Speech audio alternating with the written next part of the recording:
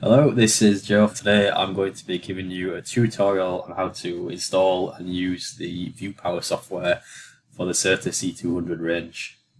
So first of all, you're going to need to download the software either from our website or from the included disk. Next, you're going to have to extract it.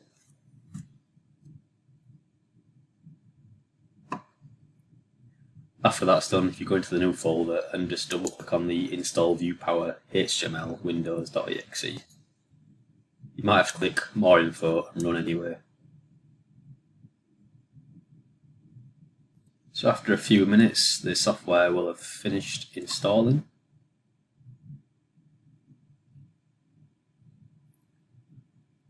You can click Next, Next, Next, and Install.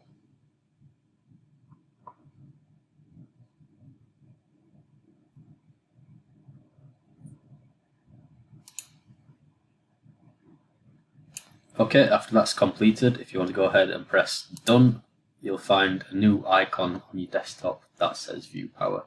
So if you go ahead and double click on that,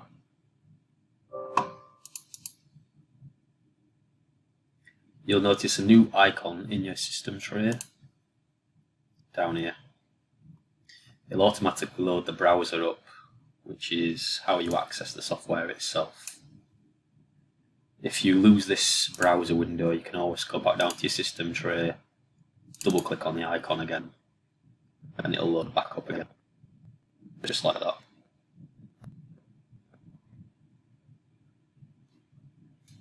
The first time you've launched the software, it might take a minute or so to fully launch. Um, after it's finally done that, you'll be presented with this screen.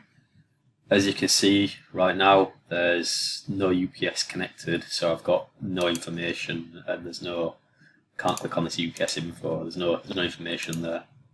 So next step is to go ahead and plug your UPS in.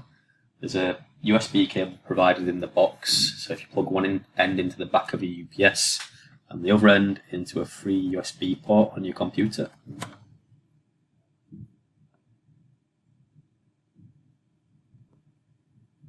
And after a few seconds it automatically recognizes the UPS and starts monitoring. And here you can see the UPS is in line mode, the output voltage is 243 and the input voltage is 241. Okay, so next I'll take you through the settings on the software. First you're going to want to log in at the top right up here. By default you're logged in as guest where you can read only. So if you press login, the default username is administrator with a capital A and the, the default password is administrator with a lowercase a. Press login.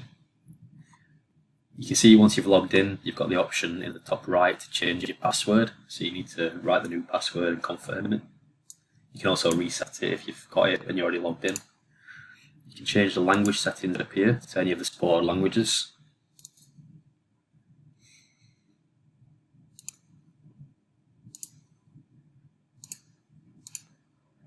So in terms of setting for the C200, there's not actually many settings you can change by the software. It's all mostly automatic. Um, so I'll take you through the tabs at the top. First you've got history. So if I just turn the UPS off, you hear the beep noise, which means it's gone into fault condition, and then turn it back on.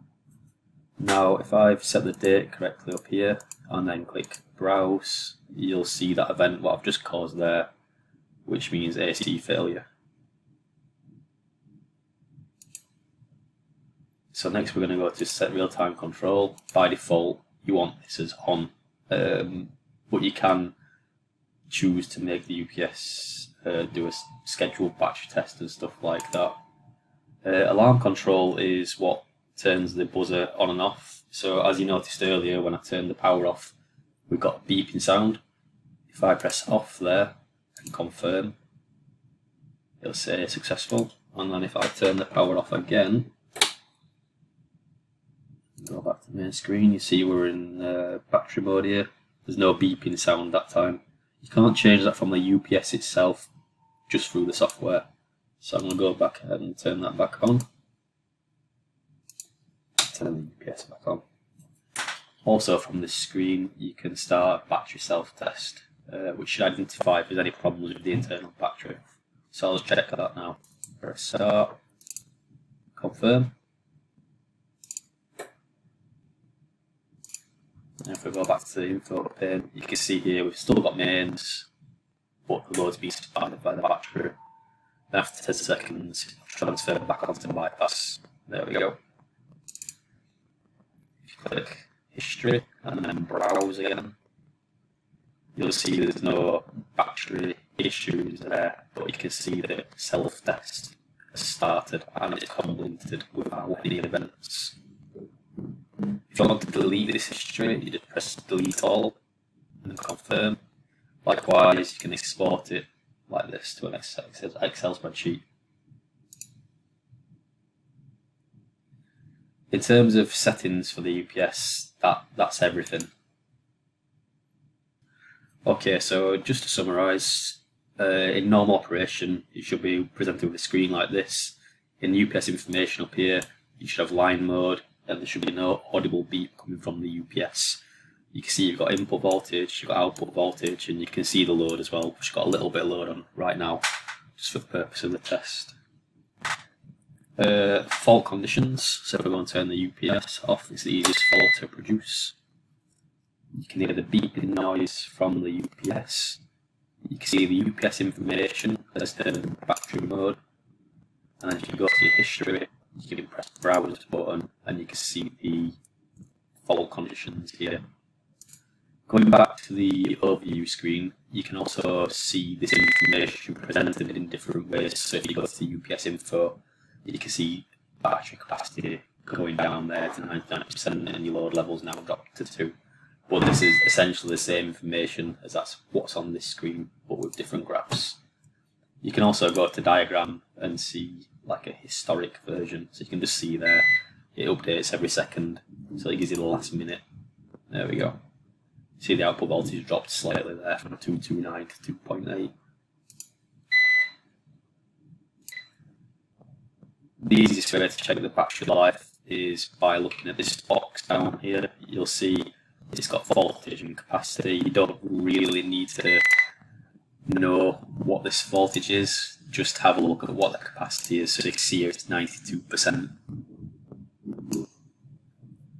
So most of the settings that you'll need to find are in here. There's not that many because it's uh, quite a simple UPS.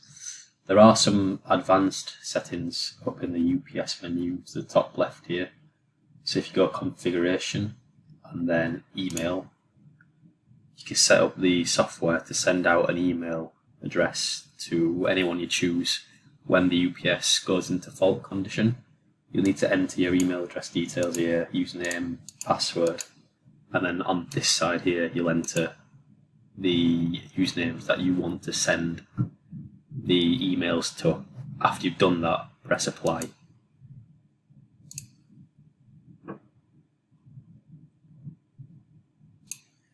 If you go to UPS menu, configuration and event action, you can see the individual events which cause an email to be sent or an SMS or a notification. So you can see, just for example, if I click on AC failure, it writes the event to the log. You can choose it to trigger or not trigger the computer alarm, up warning dialog, or broadcast. In addition to this, you can see email as well. So I'll just press trigger the computer alarm, apply. We'll also click broadcast, apply.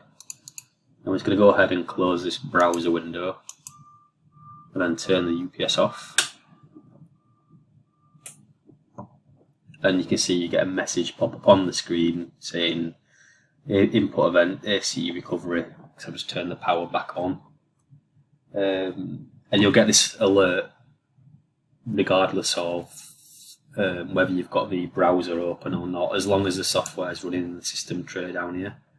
So I'm just going to close that and double click on this again to bring the software up.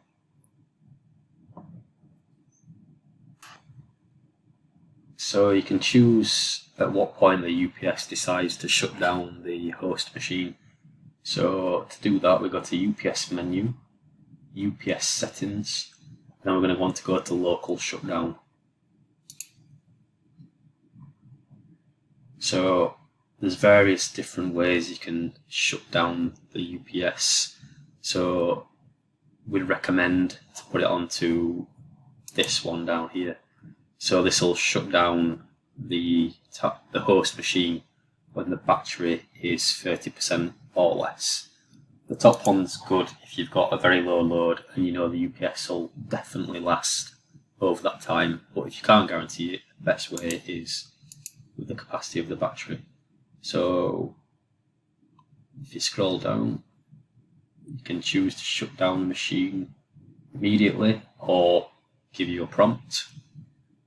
Uh, you need to set these settings as per whatever your IT policy is. Um, but once you've chosen whatever you need, you can just click apply.